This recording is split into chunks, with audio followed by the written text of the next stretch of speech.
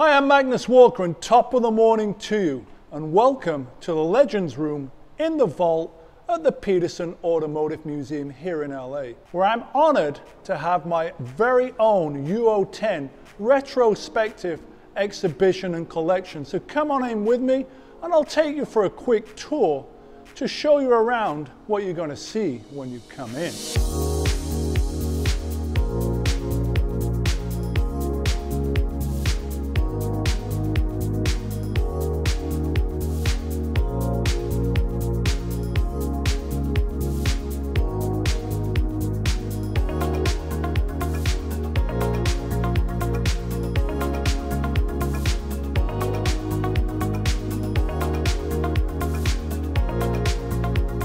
So every one of the 10 cars that you're going to see behind me has a story. But for me, if I could only keep one, without a shadow of a doubt, it's my 1971 911T, the car known as 277, the car I've done all my spirited drives in, my many, many track days over the year. This one just fits me like my favorite pair of old shoes or my favorite pair of old jeans. I'm just comfortable in it. The sum of its parts is it's nothing special. It's running somewhat antiquated technology, Weltmeister adjustable sway bars, 22 and 28 millimeter torsion bars. The heart and soul of this car is a hot rod built 2.8 liter twin plug motor. But this car has got all the patina, scars, wear and tear and character. It's the car I've done the most miles in. It's the car, like I say, I'm most comfortable with. So make sure you take some time and check out my favorite car, car number 277. This really all started with Tamir Moscovici's award-winning short documentary film, Urban Outlaw, that debuted October 15th of 2012. What you're gonna see here is 10 of my favorite P cars, and the front engined, mid-engined, and rear engined, both air and water cooled. These are my sport purpose streetable track cars with an art-inspired livery. So my goal when choosing the 10 cars to display down here at the UO10 exhibition was to show variety. Sure, when you think of Porsche, you may think of the 911, but to me, I'm all about sport purpose, readable, fun Porsche cars. So right here is my 1980 924 Carrera GT. You know the one with the engine in the front that's water cooled with the transaxle. Super well balanced. Porsche only made 406 of these. And this car has an interesting story. I got an email from a guy in Australia who jokingly said, hey, I have a car I think you should own. And I actually had a 924 Carrera GT on my wish list, but I wasn't chasing it aggressively. Long story short, this car had been in Japan, went to Sydney where I acquired it, and shipped it halfway around the world to LA. So make sure you check out one of my favorite water-cooled Porsches, my 1980 924 Carrera GT. Another one of my faves is my 1973 1.7 litre 914 Art car. I could ramble on about this for a long, long time, but it has a punk rock rattle can aesthetic that Felix Holst and I did over three days. The car then went to the SEMA show in Vegas where it was perhaps the first 914 ever to be displayed, especially at the Mobil One booth. Continuing with my art car theme, make sure you check out my 1995 993. This is the only 993 I've owned. I acquired it from my buddy Robert Angelo. He owned it before and he did the Blue Riviera wrap. I then painted the hood black and had my buddy Gino of Veda Graphics do this vinyl graphic application. But make sure you check out the big screen because I'll show you how I actually taped it off with paper tape before Gino did the vinyl application. So 993, 1995. This car holds a special place in my heart it's the 310th 911 ever built, VIN number 300 310. It's a 65, built late 64, and originally delivered to Brumos Porsche down in Jacksonville, Florida. This is a car that I chased for a very, very long time. Today it's got what I would call a gentleman's racer livery that you can see here with a sport purpose theme. So it's a hot rod early 65 2 litre 911. Here's my 78 SCHR for hot rod, 3 litre, narrow bodied, IROC front bumpers and ducktail. This one was built on a budget about 8-9 years ago with the goal of not spending much money but having a lot of fun. So check it out. It's got some used Momo seats that I bought for 500 bucks that I covered in some leftover tartan. and a few other interesting things. This car just goes to show you don't necessarily have to spend a lot of money to have fun in a Porsche, just like the 914 over there. An awesome photo of 277 on the 6th Street Bridge shot a couple of weeks ago by Larry Chen. You'll get to see my 1999 64 and my 67 SRT. These are the pinnacle of my sport purpose streetable track builds.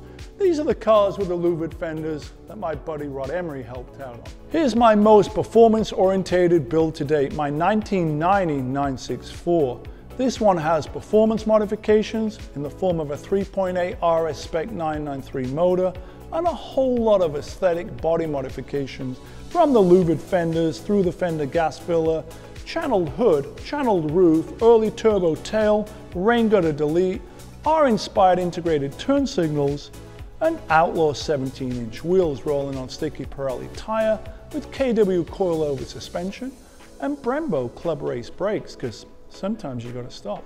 So here's another car that was in the 2020 film Urban Outlaw. This one's on a dolly painted primer gray with a flat black hood and an orange bumper. But that was back in 2012. 10 years later, the car is finally finished. It's a 67 SRT with a potent 2.5 litre twin plug motor that dynoed at 271 horsepower on pump gas.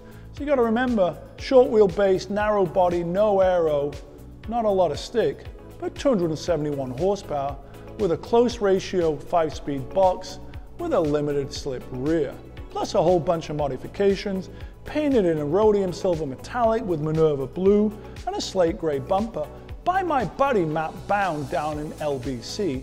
So you may be wondering why there's a rusty old fender attached to the wall. Well, this is the very first louvered fender that Rod Emery and I ever stamped. This was the very first sample right here on the wall. These louvered fenders was something that I first did back in 2014 on this my 67 SRT. You know the car, the short wheelbase 2.5 twin plug. The same process was used over here on perhaps my most performance orientated build to date, my 1990 964. If you also walk back this way, you'll see a 2.4S engine on display and various other bits and pieces from my collection. You'll also see the newest Porsche I own on display, my 2004 996 GT3. So here's the first water-cooled 911 I ever bought. That was back in 2016. My buddy Matt Bound also painted the Brumos-inspired side stripe and flat black hood. This is one of my favorites. It covers all the bases, ticks all the boxes, and engages all the sensors. Next to one of my favorite cars, the very first US 930 Turbo ever sold. That's right, the 1976 930 VIN number 015, a lifelong LA car. I've told the story quite a few times how I first fell in love with Porsche with a white Martini Turbo as a 10-year-old in 1977. This is not that car. That was delivered to Bob Smith Porsche here in Hollywood, within five miles of where I'm standing. I'm the fourth owner, it's never been titled outside of California, and my buddy, Marty Materian, has worked on it for the past 25 years for the prior two owners. Now also part of what the goal is here at the Petersen Museum down in the vault is basically me bringing my garage from downtown LA into the museum. Everything that you see here on the wall representing 277 is stuff that people had sent me over the past 10 years. The art wall starts with Tamir's award-winning short documentary film Urban Outlaw. There's also a letter that I received from Porsche in 2013 after they'd seen the film and invited me to take a tour of the factory. But perhaps one of the things I'm most proud about in this exhibition is all the artwork that has been sent in from renderings of 277 on post-its to kids' drawings to paintings to designs by Porsche designers on the back of a napkin at the Standard Hotel. Make sure you check this one out. My buddy Mitja Borkert drew this in 2013 when he thought 277 would be a speedster. He, at the time, he was actually working on the 991 anniversary speedster edition, which kind of may or may not have been inspired by 277. So check that out. And look at everything else on the wall. This is literally artwork that I took off the wall in my garage and actually just hung it here at the Petersen. Something that hadn't been done before in the Legends Room. This is the fifth exhibition in the Legends Room, and if you've seen the four before, you will remember there was no artwork hanging on the wall. So make sure you take a little beat, walk down the wall, all the way to the end, and maybe you'll be inspired just like I am, because inspiration is all around. Here on the big screen, you're going to see a retrospective of 10 years worth of disruptive videos, starting with Tamir Moscovici's award-winning film Urban Outlaw, parts of my 2014 TED Talk, and various other collaborations that have happened over the past 10 years. A perfect example, if you walk this way, is my collaboration with Hot Wheels. Believe it or not, what started in 2016 with just one car has now led to over 30 cars that you'll see here on display in the case. A couple of years into this relationship, the cool dudes at Hot Wheels said, hey, are you interested in doing some non-Porsches? I said, sure, because it's a creative process. So if you're a Hot Wheels fan, make sure to check this out. We all have a Hot Wheels story, whether you're two years old or 100 years old. In this case over here, you'll also see Dirt Don't Slow You Down. My autobiography that came out in 2017 was on London Times top 10 bestseller list.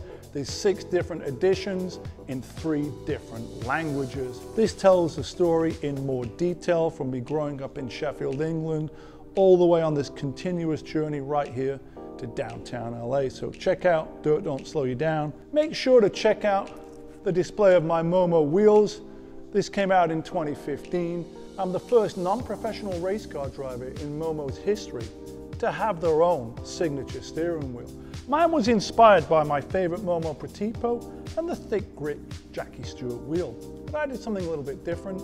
I hand distressed the leather. And perhaps a couple of my favorite things over here in the corner. So part of the UO10 exhibition is showcasing, literally in a showcase, some cool collaborations that I've been able to do over the years. The perfect one is perhaps the most recent one, my favorite, my Nike 277 collaboration with a pro skater Ishod Wair.